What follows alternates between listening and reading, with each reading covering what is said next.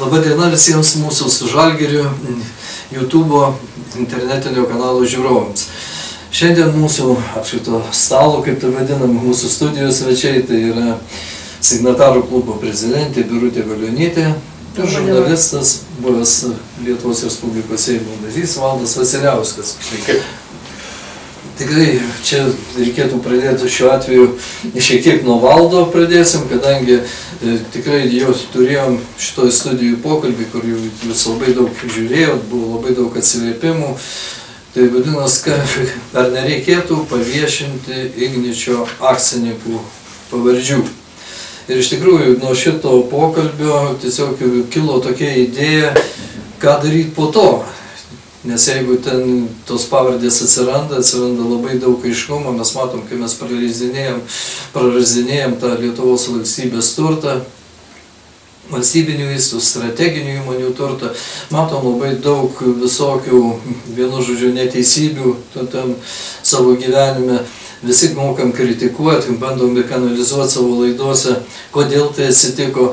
Ir tada prieėm prie tokio natūralaus klausimo, ką daryti. Jau vieną pokalbį jau turėjom, tai čia mūsų priminsiu, kad kalbėjo eksparlamentarų klubo prezidentas Genrikas Žukauskas, o šiandien turim būti būtent signatarų klubo prezidentė. Ir priminsiu, kad kalbam tik po minėjimo 35 metų mūsų sąjūdžio minėjimo, kur buvo užsakyta taip pat labai daug pamastymų, kalbų, priežasčių. Ir šiandien, va, taip, už tai ir norim pratesti tą pokalbį. Štai, sakykime, pradėjom tada, kad paviešinam akcijas, lyg tai kilo tokia idėja, kad vis tik tai reikėtų valstybėje susigražinti, bet mes e, turim dar ir Lietuvos geležinkelius, turim Klaipėdos uostą, turim savo finansų sistemą, neturėdami savo banko, ten turim padaryti urėdijų reformą. Tai tiesiog kiekvieno šitų punktų matom daug daugybę kitų Nu, tai gal nežinau, pradėkim birutę nuo jūsų, bet ten, sakykim, kada matom, konstatuojam faktą, bandom ieškoti priežasčių, kodėl, tai va dabar šitoje situacijoje gal kažkokiu va, po to mūsų sąjūdžio minėjimu, kad tie mūsų savydiečiai, signatarai susirinkę savo mąstymu sakė, va, Dėl ko iš karto pirmas va, toks paprastas klausimas, kurį kažkada uždavė Nikolajus Černiševskis 1862 metais, ką daryti, kaip keisti mūsų visuomenį, kaip keisti Lietuvoje gyvenimą. Tai pirmas toks. Matot, pirmiausia, gyvenimą tvarkomės patys, savo rankom. Valstybė tai esame mes, Kadangi mes esam kol kas demokratinė valstybė, nes rinkimai vyksta netrukdomai reguliariai ir valdžia nuolat perdodama taikiu būdu ir visos valstybinės institucijos pas mus funkcionuoja, tai yra vienas būdas keitimo, tai yra rinkimai. Ir čia uh, rinkėjai turi būti labai atsakingi renkant valdžią. Tai renkant ar į vietinę valdžią, ar Seimo narius renkant, visuomet reikia rinkėjams turėti ilgą atmintį ir ne rinkti pagal grožį, pagal priklausimą partijai, o rinkti pagal tai, ką konkrečiai tas žmogus yra nuveikęs, ką jisai kalba ir ką jis daro ar darbai sutampa. Pas mus, kadangi kol kas yra, ir dabar aš nesuskaičiuosiu kelinta, bet turbūt kokia trečia ar ketvirta, mūsų parlamentas išrinktas yra mažumos, nedaugumos. Kadangi rinkimuose nedalyvauja net 50 procentų rinkėjų, tai mes turim mažumos, kitaip tariant, valdžią, o ta didžioji dalis masės jie elementariai neina balsuoti. Tai štai, tai klausimas yra, kokią mes valdžią turėtumėm, jeigu iš tikrųjų pas mus balsuotų visi rinkėjai. O tuomet mes turėtumėm pilną spektrą, visą paletę. Dabar mes šito neturim, Dabar viskas sukasi apie tai, kuri partija turi daugiau rėmėjų, kuri partija, partijos nariai yra labiau organizuoti. Tai štai mes mūsų rinkimai ir eina. Ir kai manęs klausia šiandieną dažnai žmonės, už kokią partiją balsuoti, aš pasakau visada vieną paprastą klausimą. O koks skirtumas, kokią vėliavytę jie šiandieną turi ištraukę? Žiūrėkime, ką tas konkretus asmuo dalyvaujantis rinkimuose veikia ir ką yra nuveikęs ir kokios gi jo vertybės. Va štai kada Šiandien mes šnekam ir labai daug e, dabartinė valdančioji koalicija šnekėjo apie vertybinę politiką ir apie vertybės. Tai e, štai po paskutinių ėjimų aš atvirai pasakysiu. Gal aš esu jau, kaip mano kaimynas sako, tu kartais į pasą pasižiūrėk. E, žinoma, čia yra humoras, bet iš tikrųjų man, pavyzdžiui, kilo toks visiškai logiškas, paprastas klausimas. Kas yra šiandien moralė ir kokia moralė savoka? Atleiskit, man dabar šiandien tapo nebeaišku. Nes e, tai, kas vyksta čia pas mus Lietuvoje, tai yra visiška košė, visiškai matau jaunų politikų e, e, be patirties ambiciją, jų ego, bet ne valstybės reikalus, ne valstybinius dalykus ir taip toliau. Žinoma, reikia tiesiai šviesiai pasakyti, kad mūsų dabartiniam parlamentui šitos kadencijos tapo ne eiliniai metai jų valdymo, kada iš tikrųjų didžiuliai yra iššūkiai ir ne nuo jų priklausantis. Tiek karas, tiek pandemija, tai be bejonės įneša didžiulę, reikia ir susitelkimo, ir, ir, ir proto, ir, ir taip toliau, ir taip toliau, ir žinių ir galų gale mokėti valdyti šitą situaciją. Šito dėje niekas nėra išmokę, nes mes eilę metų jau kadencijų gyvename, kaip sakau, atsipalaidavę. Ta šūkis, kad mes esame Europos Sąjungoje ir saugus ir kad mes esame NATO, tai mūsų iš viso penktas straipsnis gina ir štai pasirodo, kad dar yra trečias straipsnis. NATO, kada tu pats turi gintis, Trečias. o tau penktas ateis padėti. Trečias straipsnis. Trečias, tu pats turi gintis, o penktas ateis padėti. Tai štai mes buvom pamiršę tą trečią, dabar priminė. Dabar, kaip aš sakau, e, mes pradėjome galvoti, ačiū Dievui, ir jau supratome visą NATO sutartį nuo pradžių iki galo.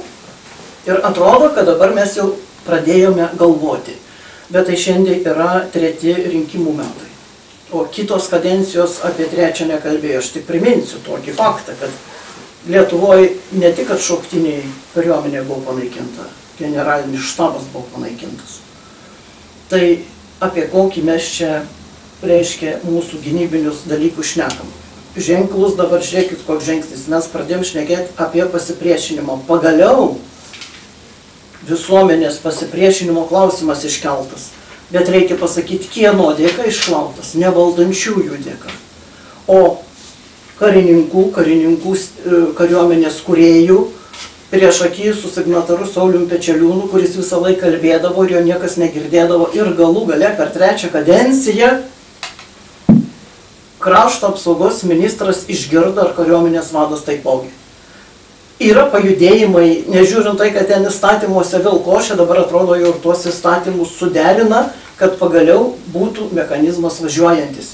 Bet tam reikia Ukrainoje karo. Tam reikia viso šitos į protą netalpančios situacijos, kada mes savo šalies viduje pradėtumėm galvoti. Tai o ką daryti, kelias vienintelis, kitų kelių nėra. Deja, mūsų politikam neįmanoma pridėti proto, kaip sakau, ir išminties. Neįmanoma, nes, kaip žinote, jinai yra įgyjama. Supratau. Tai gerbiamas Valdai, vat iš, iš to, ką pasakė Birutė, tai čia jinai daugiau kaip akcentavo tos gynybinius dalykus. Bet šalia to karo, tos geopolitinės mes kalbam ir apie Lietuvą, kurioje gyvenam, kur, kurio žmonės išsivažinėja, žudosi daugiausia Lietuvoje ten yra. Ir vat, Birutė pasakė, vat, nuo rėmėjų ir nuo finansų. Dabar visos tos genderizmo idėjos viskas ateina ne Lietuvos pinigais. Visa par, pa, partija pagal mūsų įstatymus rinkimuose partijos negali būti finansuojamos iš, iš užsienio. Bet yra institutai partijų, kurie ateina švabo, kurie eina Sorošo pinigai, čia tos pačios laisvės partijos institutai, liberalų. Dėl, praktiškai tie pinigai ir yra rinkimam, viešinimui. Ir pats, kaip būnamas profesionalus žurnalistas ir gavęs politiko duonos, tai turbūt puikiai žinai, kad ta visa informacinė erdvė užgošta tokiom idėjom, kur lietuvybei, mūsų kalbai, papročiam, tos vietos, kuo toliau, tuo lieka mažiau ir tos visos naujovės šias dienas. Tai dabar, va, kaip Birutė sako, kad reikia va ten tiem, kad visi ateitų balsuoti, aš irgi labai to norėčiau, bet kiek jau mūsų lieka, tai va viešoji erdvė, finansavimas partijų eina iš užsienio, tai aišku, savaime, kad Lietuvoje tokių pinigų savo tautiniai valstybėje atsilaikyti nėra. Nes Tai e, aš pratęsdamas, pirmiausia, sveikindamas su praėjusiu 35-ečio signatarų klubo prezidentą ir visus signatarus visų asmenį ir visą Lietuvą, aišku. Norėčiau pratęsti Birutę e, dėl vertybių, kad iš tikrųjų vis mūsų valdantieji kalba apie vertybės, vertybės, tačiau niekas nepaklausė, o kokios jūsų vertybės? Būtent. Kokios jūsų vertybės? Ir dabar, kaip minėjot Gediminai, kad tada aiškėja vertybės. Juk ne vienas Seimas, ne viena kadencija nebuvo toks, aš taip pajokausiu, seksualizuotas. Svarbiausia viską e, ir žmogaus vertę, ir net partijos vertę, pasirodo, didžia dalimi nulėmė seksualinė orientacija, jo seksualumo, jo seksualiniai poreikiai, o ne visą asmenybę. Tiesiog yra, būtų, e, na, yra komiška tai aišku yra.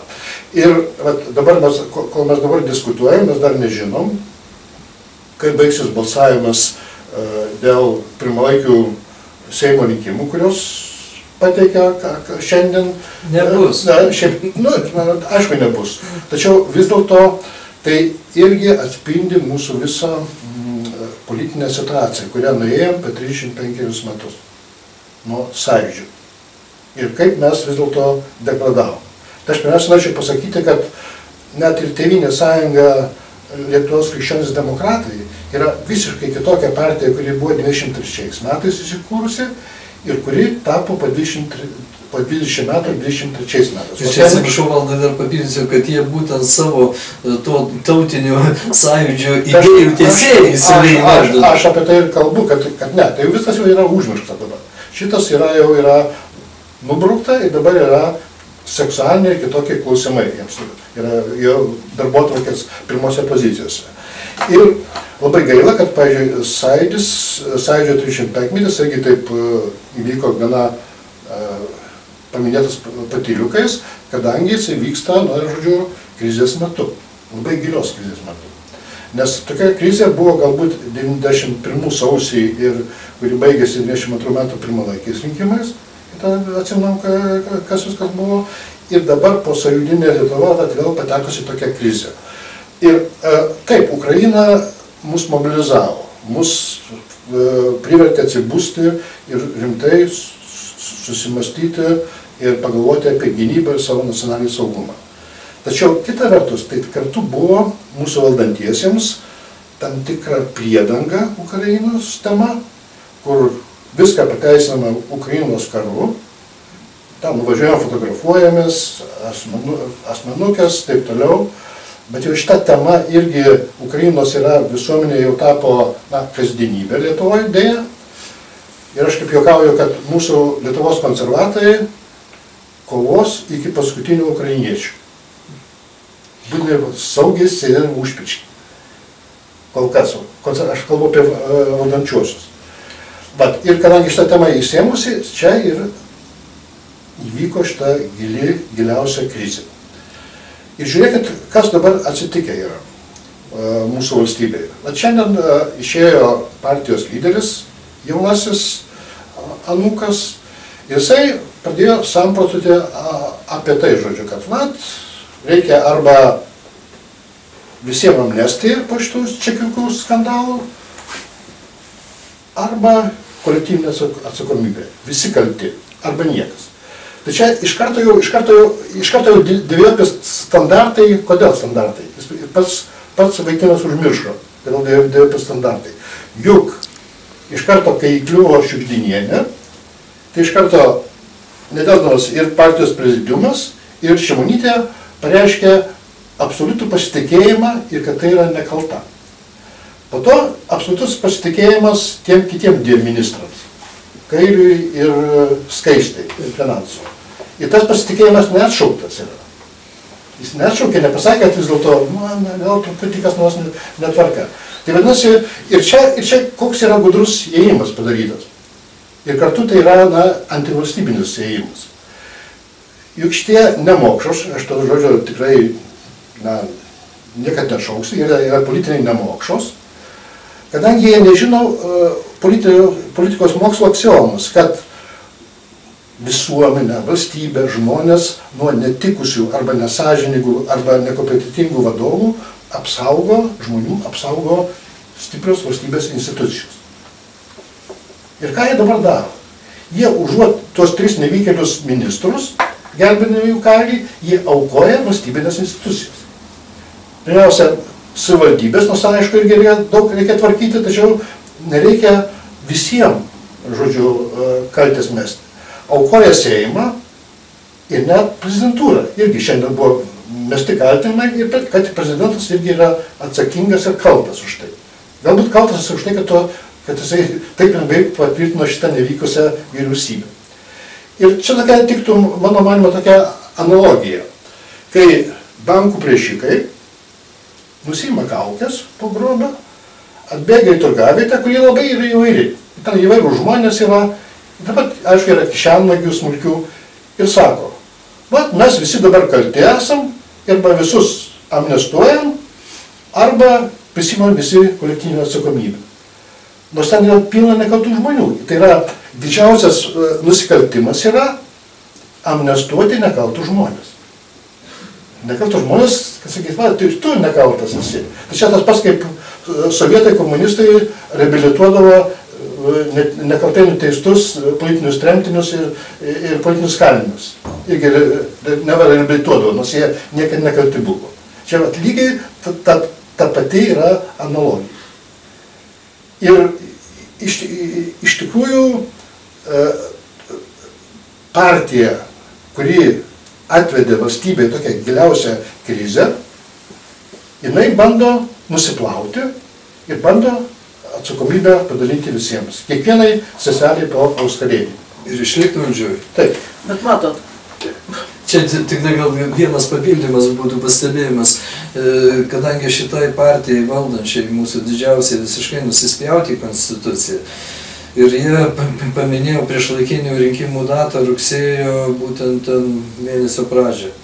Bet e, tegu pasiskaito pagal konstituciją, pagal tos pakeitimus, jie to negali padaryti. Galima, tie prieš laikiniai rinkimai gali įvykti tik tai spalio mėnesį.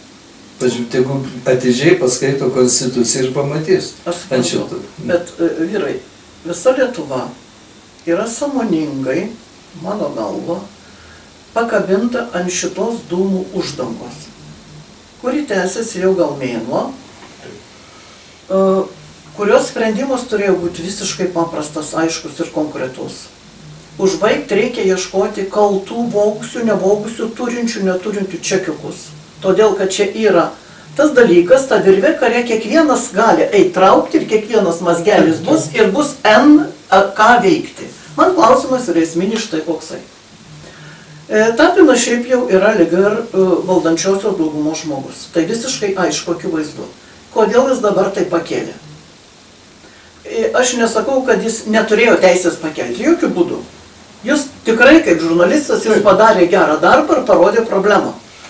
Problema senai žinoma, nieko naujo, Čia birutė įsiterpsiu, kovo mėnesio SAT ataskaitoje yra visa tai, ką Surašyta. Tapinas Taip. kalba. Taip, tai štai, yra klausimas, kodėl dabar ta dūmų uždanga tokia didelė iškelta ir visą laiką, e, reiškia, jautrinama, nes labai jautrus tem- tema ir kiekvieną kartą gali, o ką dar išmetė, nu mat, ko ką dar.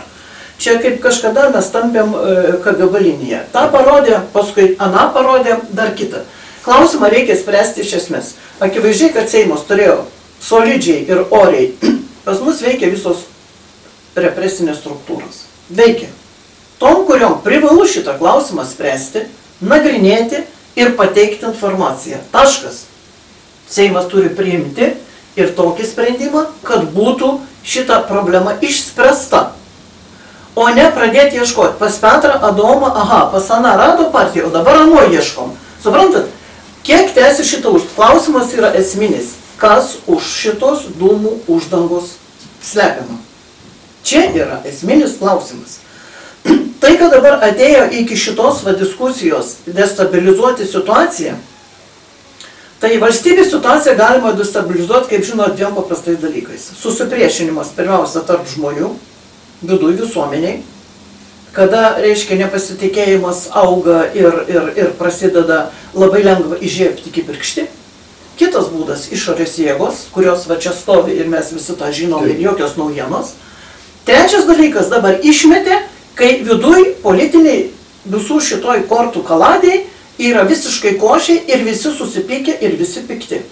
Jokie strinkami sprendimai nėra priimami, tai nevykdomi tai, ką turėtų daryti parlamentas dabar. Aš nekalbu savivaldybė, šiaip jau čia kažkur dabar apskritai neegzistuoja livirnėjų klausimas, nors tai yra jų problema, sprendžiama ten.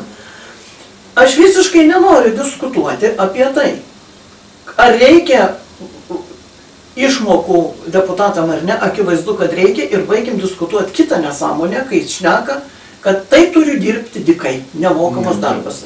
Baigim šnekėti apie tas nesąmonės, nes tai yra visiškos nesąmonės, nes visi senai žinom vieną dalyką.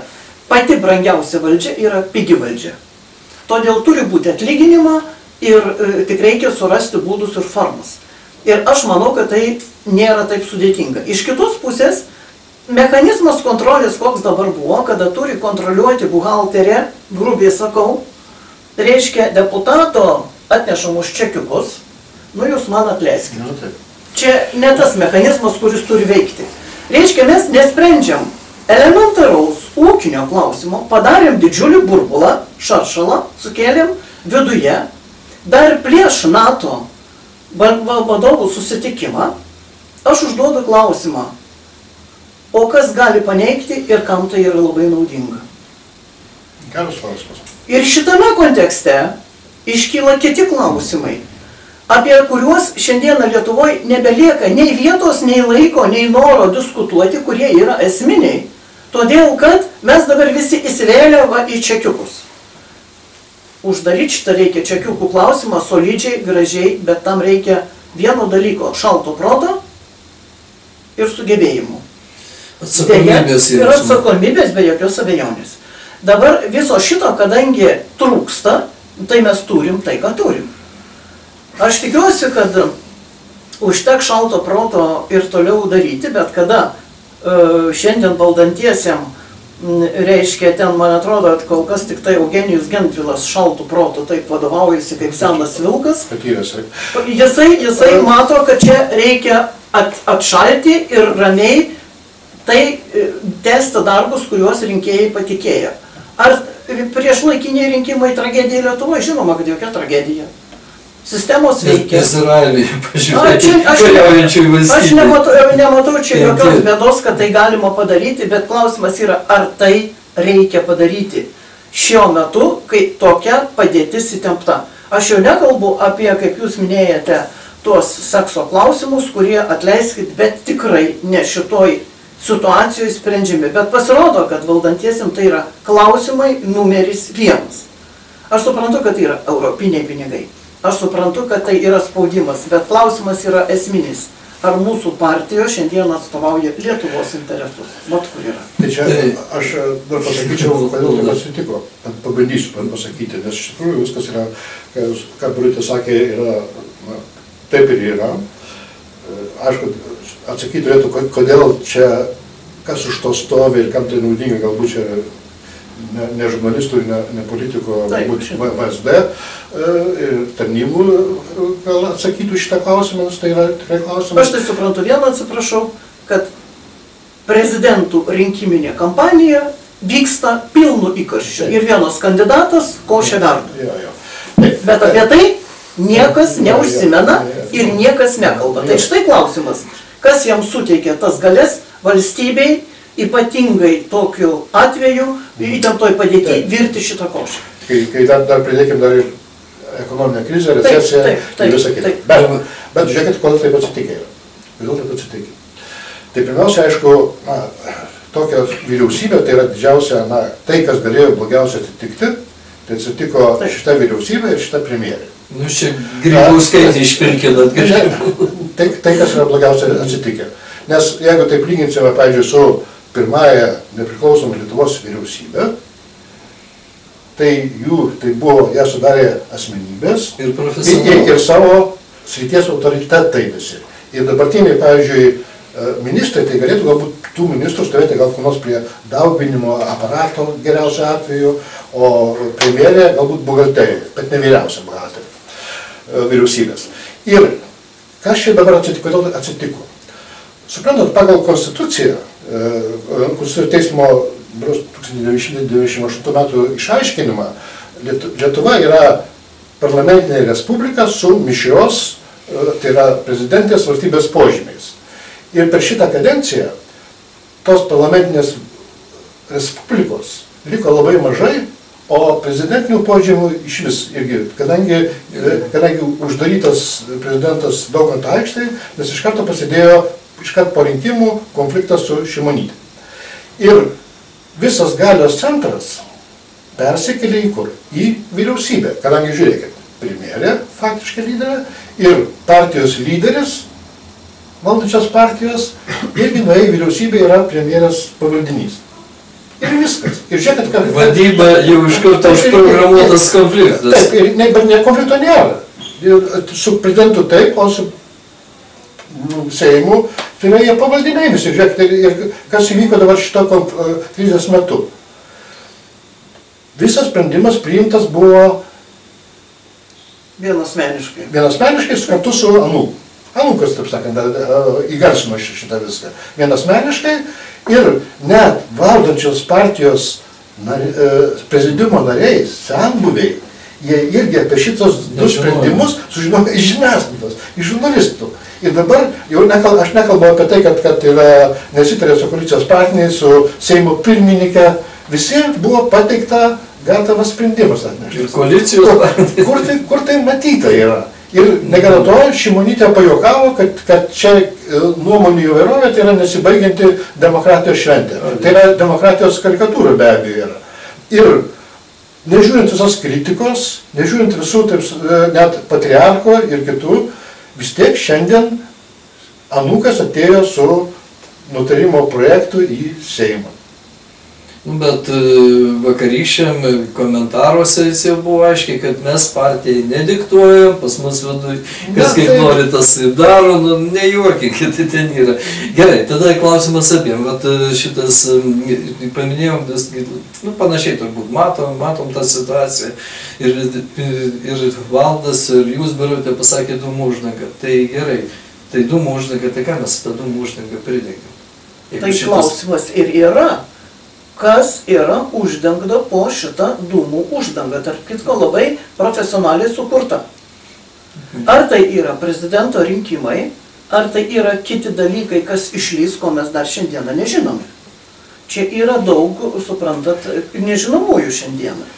Tai aš tokiu, aš tokiu detalę vieną, vieną, vieną pasak- pasakysiu, galbūt vienas iš dalykų, tai čia aišku yra tai, kad šita vyriausybė gyveno iš išskolintų pinigų ir jos taškė kaip- tik tai galėjo, kai dabar, pažiūrėjau, net tas NATO e, viršūnų susitikimas, kur yra tris- kart didesnės e, paslaugos nei rinkoje ir taip toliau ir visi taip. Ir va, dar kaip tik ši- šitą skandalo metu, kai visi išnekėjome apie čekiukus, dar skaičiavom, tas patyliukais įvyko pagaliau Lietuvos geležinkelių girulių, giruliuose pušino e, e, e, sanatorijos geležinkeliečių, kur visi šeimos atotavo, vyko pardavimas, kur, žodžiu, didžiulis plotas prie jūros, poilsio namai, parduota už maždaug už trijų būtų kainą. Iš kam neaiškiam e, Klaipėdos verslininkui, kuris ten tris kart bankrutavęs ir taip toliau. Bet konservatorių partijos rėmėjas bandys įspėti. Aš nežinau, taip sakant, jisai laimės, net tik žinau, kad jisai porą kartų bankrutavęs ir, ir sėdi skolose. Tai jisai vat, nupirko šitą didžiulį sklypą, vat, vat, prieš. Pa- Jo, tai, tai prieš, prieš, prieš porą savaičių, bet ir viskas, taip sakant, tyli. Tai gal, gal čia šitas dalykas yra? Nu čia dar ne pats didžiausias, aš manau, kad e, valdai tą, ką mes kalbėjom apie įgimtį, tai energetikos, čia yra tokios sumos eina, kad mes jau ten proto nesuvokiam. Tai va dabar kalbam, e, tada vis tiek grįšiu prie tokių konkretesnių detalių. Pavyzdžiui, žiūrėkit, kalbėjom apie ignitį ir ten lygtai tas vien, vienas yra tas Paimam konkretų dalyką. Lietuvos geležinkeliai.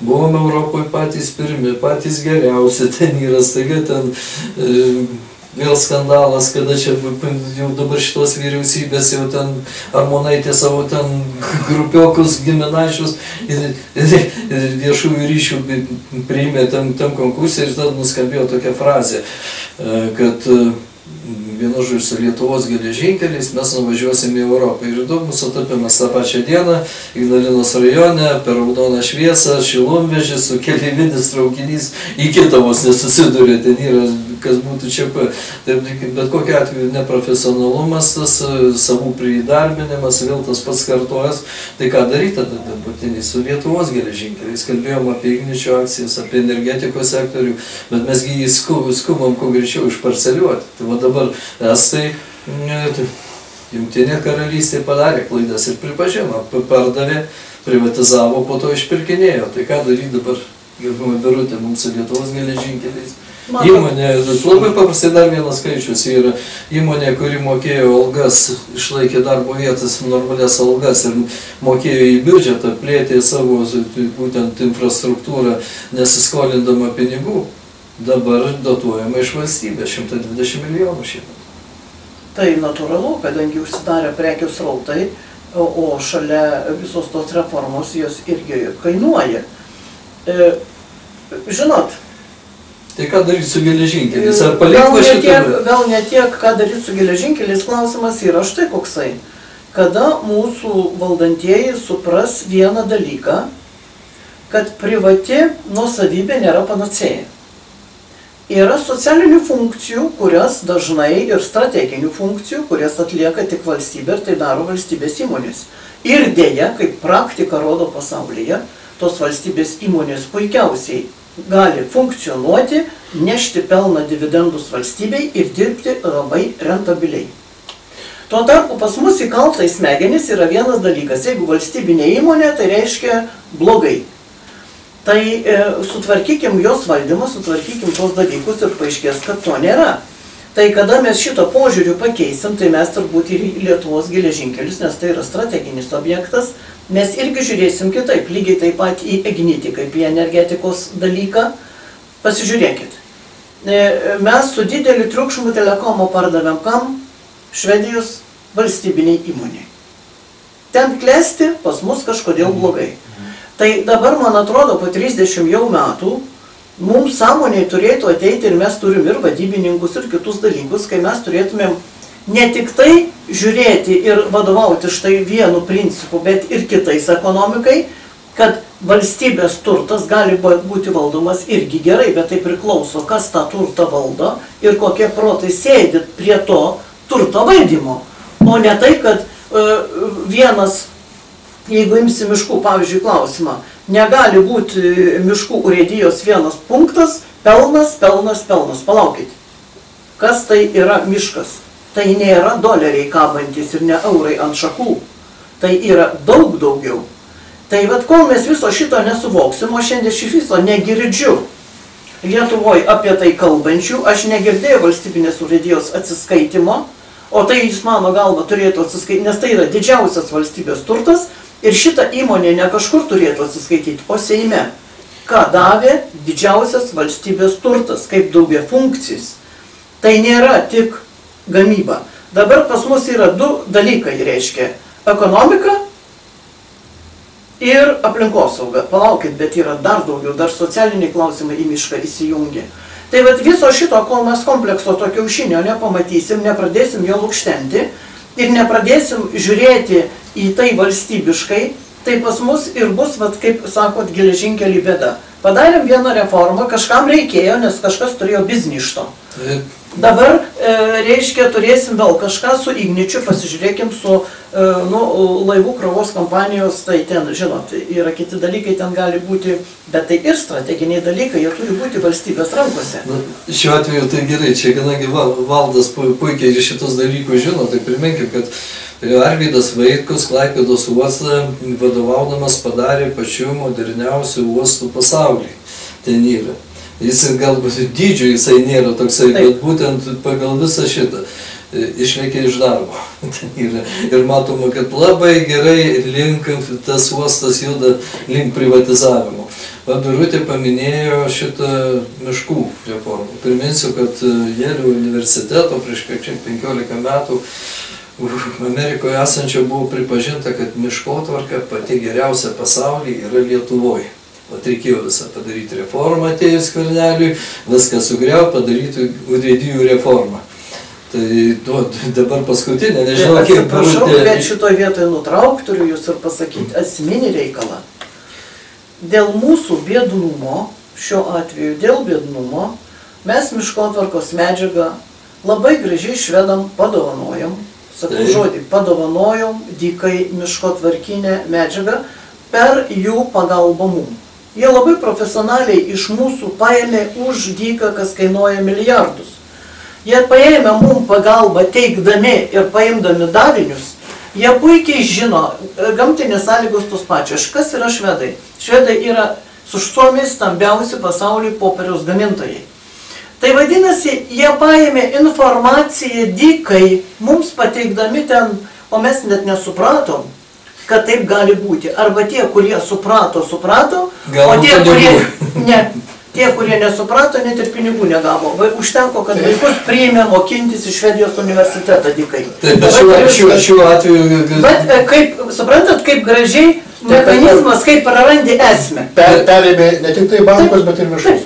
Taip, bet da, da, dabar paskutinį, va, Birutė paminėjau, nežinau, kiek turite informacijos, dabar darome e, šitoj urėdyjoj, vadinamoji reforma tokia, kad tas, visas ta veikla skaidoma į dvi dalis.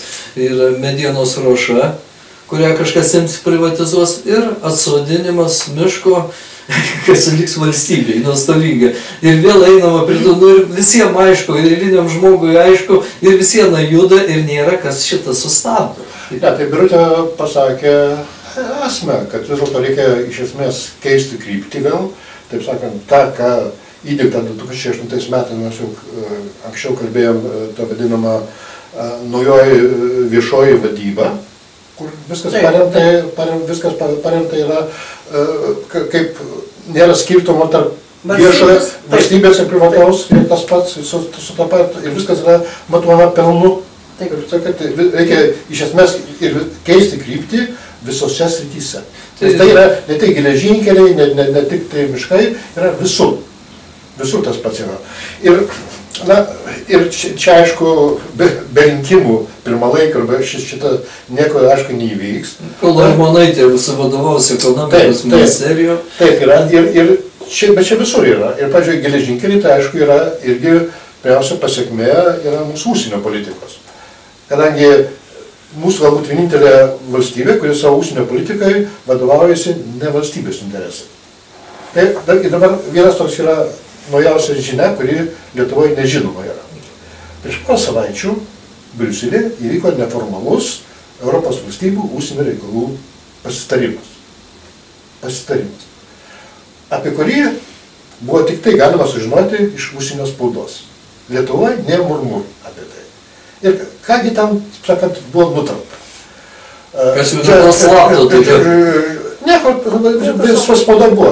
Josefas arba Josefas Borelį, jis, taip sakant, komunikavo viską ir pareiškė. Tokios porą dalykų, kur yra labai įdomus. Pagrindinė tema - santykiai su Kinija. Borelį pareiškė, kad Kinija yra ES ir partnerė, ir konkurentė, varžovė, bet ne priešė. Ir kad e, su Kinija ES turi mažinti priklausomybę, tačiau turi būtina palaikyti santykius su e, antra pagal dydį pasaulio ekonomika. į ką Pala- Gabrielius pasakė, Pa- Negavo žodžių. Tai sakant, va. Ir e, taip pat ES supranta, kad e, Kinija naudojasi karų e, Ukrainoje ir bando peržaisti pasaulio tvarką ir perimti iniciatyvą iš Amerikos. Bet vėl, vėlgi pa- pa- pakartoja, kad tai nėra priešė, o tai yra partnerė. Ir kągi, Kinija iš karto kuo atsakė? Kinija dabar jau šiuo metu važinėja, va, specialus e, ambasadorius e, Ukrainoje, Rusijoje ir Europoje, bet ne Lietuvoje. Kada Lietuva yra priešė. Tai va, tai man įdomu, kiek reikės metų, kol naujai atėjo užsienio uh, mūsų politikos strategai, išsrėps šitą Gabrieliaus, Adomėno ir visos šitos gaujos privirtą košę. Atsakingų nebus, bet kokia atveju. Matot, kaip yra, vat, e, vat šitam, vat, ką jūs dabar pasakėte, čekiukų skandalas, Taip. jis yra apskritai niekinis ir sakant. Ir mes tiek laiko skiriam emocijų, laiko, pinigų, visko, ko norit. Suprantat, kiek kainuoja Seimo valanda arba valanda? Taip. Mėly ponai, apie ką mes šnekam? Manęs visiškai nedomina. Širdždinienė penkis čekiukus neatnešė, ar ten 46. Sutvarkykim klausimą, padėkim tašką, važiuojam tolyn. Tai yra profesionalus požiūris, yra tarnybos, kuris turi veikti darbą, o ne nuolat ant vat, bėgyjančio žaizdos visą laiką krapštyti ir sakyti, ponai, dar čia yra. Kas visiems labai įdomu, visiems labai jautru. Aš manau, kad didžiajam pasaulio va šitam vystimosi burbule, kas vyksta, tai mes čia atrodom kaip tas žirnis, kuris visiškai nežinantis, kas kur yra ir prie ko, ir kartais įsivaizduojam, kad esam jau ne žirnis, o esam dramblys. Deja, tas žirnis kartais sugriauna didžiulę imperiją, bet tam žirniui reikia labai turėti daug smegenų ir smegenų centrą labai rimtą, tam, kad tas žirnis išliktų apskritai. Tai štai apie išlikimą, apie mūsų tapatybę, apie lietuvių kalbą, apie mūsų šaknis.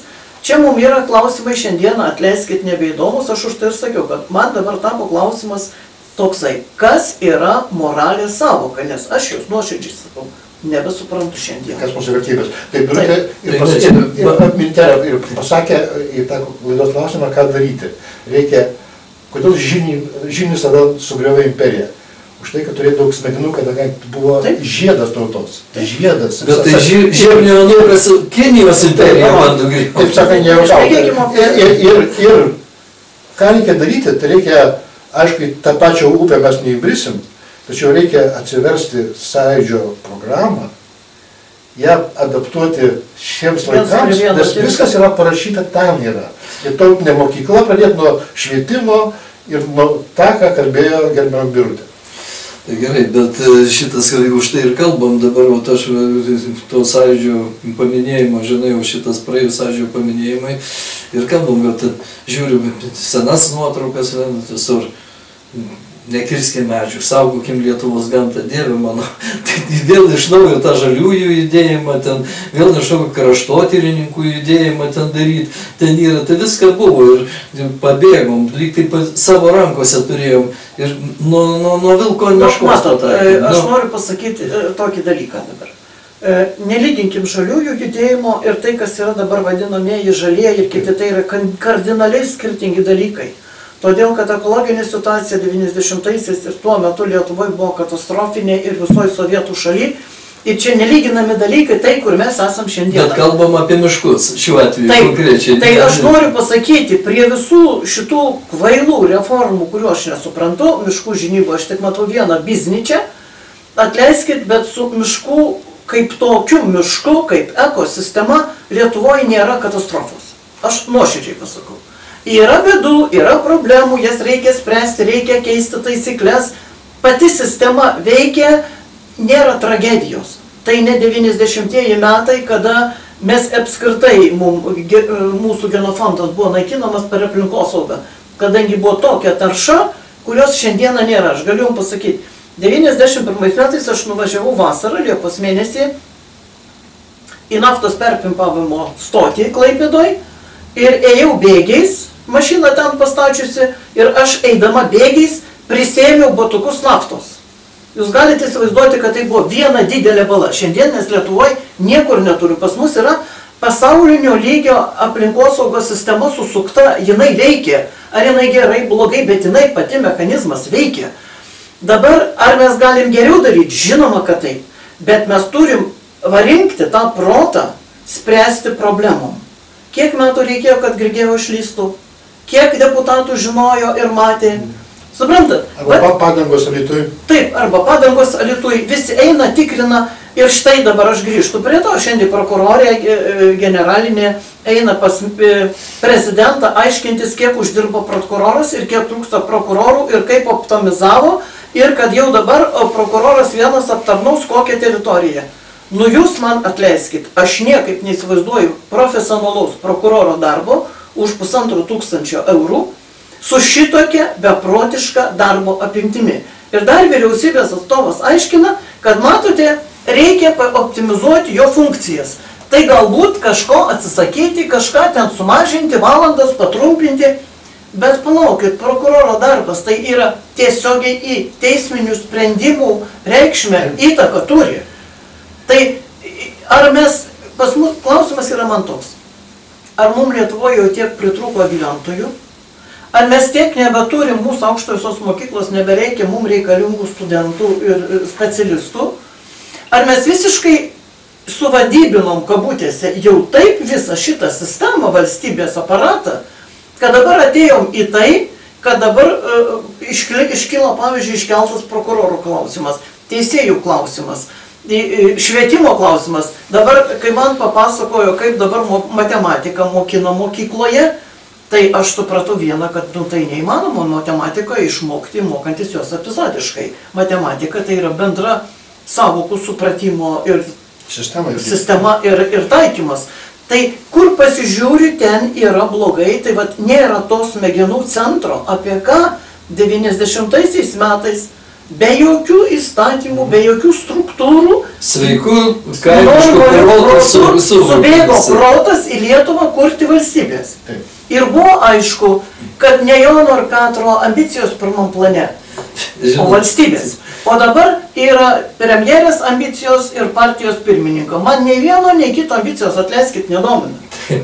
Gerai, kadangi mūsų laikas atėjo pabaigą, žinot, norėčiau, norėjau pabaigti, bet e, pasakysiu, savo, pasakysiu savo mintį, o jūs galėsit arba sukritikuoti, arba šitas. Žinot, Gėdrio Gerkaus Manto filme pabaigoje yra tokia scena, kada žudosi vienas prūsų karvedžių ir Gerkus klausia, kam tu tą darai, jis pasakė, žinai, ten aukštai nėra ordino, bet sako, ten ir Lietuvos nėra. Tai žinot, kada bėga žmonės karės, tai vienu žodžiu žudosi ir dabar pasakyk, nu bet ten nėra Lietuvos, o atsakymas būtų perfrazuojant, bet ten nėra ir Landsbergio konservatorių. galit sutikti, galit ne. Ne, tai e, matot, e, pirmiausia, žinot kaip yra. E, Landsbergis yra istorinė asmenybė, jis yra garbaus amžiaus. Aš pasakysiu dabar vieną aš tokį... Aš apie jauną įskaitėjau. Aš suprantu, bet e, aš pasakysiu vieną tokį dalyką. Prieš kokį gal gerą dešimt, dešimt metų pas mane ateina vienas kolega, signataras ir jis man sako, žinai ką, tu sugebėsi, tu, aš tavęs labai prašau, tu padaryk. Kada tu pamatysi, kad aš jau nebegaliu kalbėti, nusišneku, man nebeišeina, tu sugebėsi, tu ras priemonės, mane sustabdyk, aš nenoriu susikompromituoti. Tai ateina metas, kada šitą reikia jausti ir reikia aplinkiniam padėti. O jaunimui tai nereikia askaluoti ir naudotis tėvelio ar e, prosenelio pavardę, reikia ją didžiuotis ir reikia žiūrėti, ką tu darai valstybei ir elgtis, o ne mano ego yra aukščio viso, nes matote, aš turiu tokią pavardę. Nu tai yra elementariai vaikiška ir nieko bendro su valstybingumu čia neturi. Supratau, valdai. Visiškai pritariu valstybiniam biurutės požiūriui. Gerai, ačiū gerbiamą biurutę, ačiū gerbiamą valdui, dėkui mūsų kanalų žiūrovams ir priminsiu, kad Jeigu mūsų laidos patinka, nepamirškite visada nuspausti nuorodą prenumeruoju. Dėkui viso gero. Tu čia ne apie Nikolajų